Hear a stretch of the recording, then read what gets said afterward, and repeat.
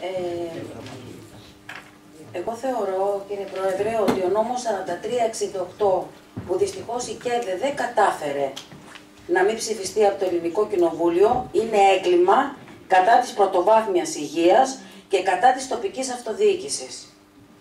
Λοιπόν, πιστέψαμε όλοι σε μια καινούρια κυβέρνηση με ένα καινούριο όραμα. Με τον ΑΒ τρόπο ο καθένας του.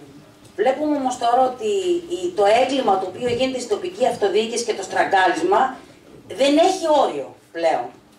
Δεν είναι δυνατόν αυτή τη στιγμή, χωρίς να δίνονται πόροι, χωρίς να υπάρχουν, και θα συμφωνήσω εδώ με τον κύριο Λογοθέτη και με τους άλλους ε, ε οι οποίοι προηγήθηκαν ε, στην, στην τοποθέτηση, δεν δίνονται από το κράτος πόροι και δίνεται, συγχρόνως υπάρχει το ρήμα δύναμε, δύναται η τοπική αυτοδιοίκηση τι να κάνει. Να αναλάβει, προσέξτε εδώ, προσέξτε εδώ, το κόστος λειτουργίας του κέντρου υγείας, ακόμα προσέχτε κάτι άλλο.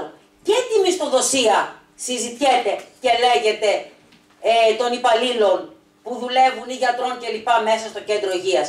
Με τι πόρους μας είπε το κράτος, το ελληνικό κράτος; Η ΚΕΔ έχει, έχει κάνει έκτακτο συνέδριο για αυτό ακριβώς το θέμα. Σε τι βαθμό είναι η χρηματοδότηση των Δήμων σε αυτές τις αρμοδιότητες που μας παραχωρούν συνέχεια συνέχεια; Πώς χρηματοδοτήθηκε, ε, αυτή τη στιγμή έχουμε πάρει τους κεντρικούς αυτοτελείς πόρους μόνο ένα πολύ πολύ μικρό ποσό.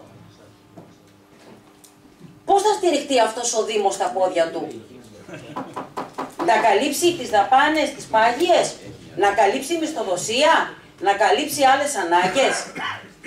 Ειλικρινά μιλάω και απευθύνομαι εδώ δημόσια και σε εσάς κύριε Κοφινά που κατέχετε μια θέση ως αντιπρόεδρος μέσα στο Συμβούλιο του Νοσοκομείου Κορίνθου και σε όλους τους άλλους βουλευτές να σταματήσουν πλέον να βομβαρδίζουν και να κατακρεουργούν την τοπική αυτοδιοίκηση. Δεν έχουμε πάρει ένα ευρώ εδώ και μισό χρόνο. Το ΕΣΠΑ έχει παγώσει. Ο Θησέας έχει παγώσει. Μα έλεος δηλαδή. Αν έχουμε χρεοκοπήσει, ας το πούν τέλος, τέλος πάντων, να ξέρουμε τι θα κάνουμε. Να κατεβάσουμε τα ρολά στους Δήμους. Και πάω στο επόμενο ε, θέμα το οποίο αναφέρθηκε η κυρία Θεοδόρου. Κύριε Θεοδόρου, όντως, η κυρία Θεοδόρου έχει πάρα πολύ δίκιο. Το κέντρο υγείας είναι κατελημένο.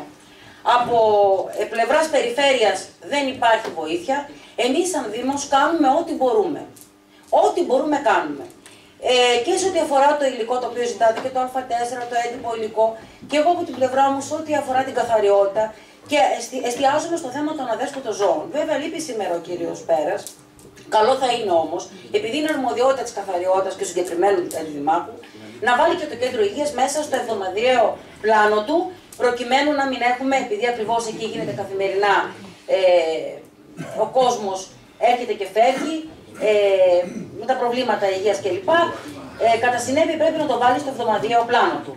Από εκεί πέρα σε ό,τι αφορά τα δέσποτα. Για μια άλλη φορά, για μια ακόμη φορά, ο νόμος, ο οποίος αφορά τα δέσποτα εδώ και τόσα χρόνια, γιατί είναι πεπαλαιωμένος νόμος, είναι απαράδεκτος. Εδώ δεν φταίει βέβαια μόνο η κεντρική εξουσία η σημερινή. Τι λέει λοιπόν ο νόμος κύριε, Βαρελά, κύριε Πρόεδρε; Σου λέει παίρνεις τα σκυλιά, τα αδέσποτα κλπ. Τα στηρώνεις και στη συνέχεια εφόσον τα στηρώσεις, τους βάζεις και ένα περιλέμιο και τα αφήνεις. Προσέξτε εδώ, το τραγικό του νόμου αναφέρει ότι να μην να προσέχουν οι Δήμοι, να μην είναι κοντά σε αυτοκινητόδρομους, να μην είναι κοντά σε νοσοκομεία, να μην είναι κοντά σε παιδικούς σταθμούς, να μην βρίσκονται κοντά στα σχολεία. Αυτά πράγματα δεν μπορεί ο Δήμος να τα ελέγξει.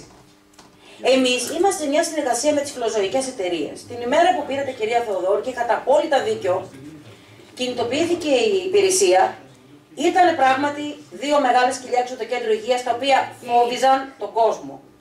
Ε, οι φιλοζωικές ε, εταιρείες, ε, μάλλον οι φιλοζωικές ναι, εταιρείες, οι οποίες οργανώσει οι οποίες λειτουργούν εδώ, οι φιλοζωικοί του Τρακίου, έχουμε μια συνεργασία, η οποία όμως τι συνεργασία είναι; Όταν υπάρχει κάποιο δέσποτο το οποίο δημιουργεί κίνδυνο, παίρνουμε τηλέφωνο και πηγαίνουν και το μαζεύουν.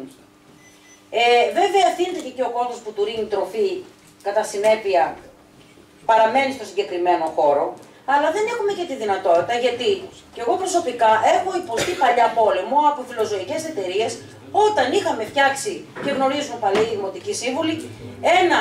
Ε, ναι, είχαμε φτιάξει κάτι, εν πάση περιπτώσει. Ε, Όμως δεν είχαμε αυτά τα κρούσματα, κύριε Λογοθέτη, γιατί να σας πω και κάτι. Προσπαθούμε μόνοι μας με τεχνάσματα και από ό,τι έτσι φαίνεται πρέπει να κάνουμε, να πάρουμε τον νόμο στα χέρια μας με τεχνάσματα να λύσουμε τα προβλήματα. Τώρα λοιπόν, ε, βρήκαμε μία παράγραφο του νόμου, η οποία αναφέρεται στην δημιουργία ενός μικροτσίπ που θα βάζουμε, προσέξτε εδώ, γιατί ο τόπος μας, εδώ στην περιοχή μας, έχουμε πρόβλημα με τα αδέσποτα, αδέσποτα πια.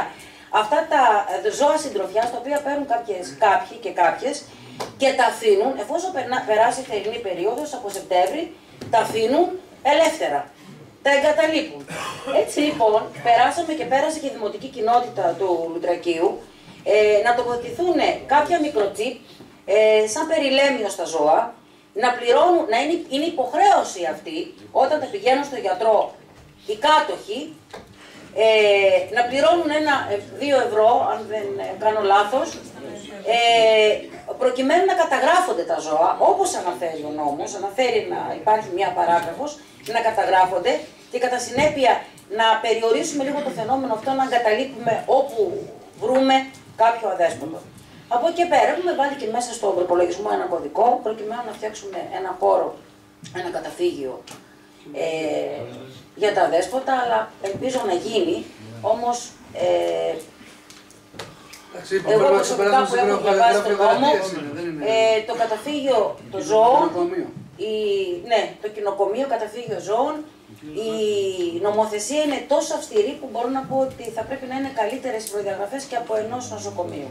Και τελειώνω λέγοντας ότι το ασθενοφόρο, εάν δεν υπήρχε ο Δήμος, δεν θα υπήρχε αυτή τη στιγμή το κομμάτι εκείνο της μετακίνησης που αφορούσε ασθενοφόρο και υπαλλήλους.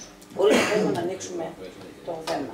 Από εκεί πέρα, ό,τι μπορούμε να κάνουμε, κυρία Θεοδόρου, και οι άλλοι συνάδελφοι, πιστεύω ακόμα περισσότερο, αλλά και στο συγκεκριμένο θέμα, επειδή έχει κάνει και επαφές ο κύριος Δήμαρχος, δεν είναι εδώ σήμερα. Την επόμενη φορά θα σας πει σε ό,τι αφορά το ψήφισμα και αυτό το οποίο είχαμε κουβεντιάσει στο πρώτο προηγούμενο Δημοτικό Συμβούλιο.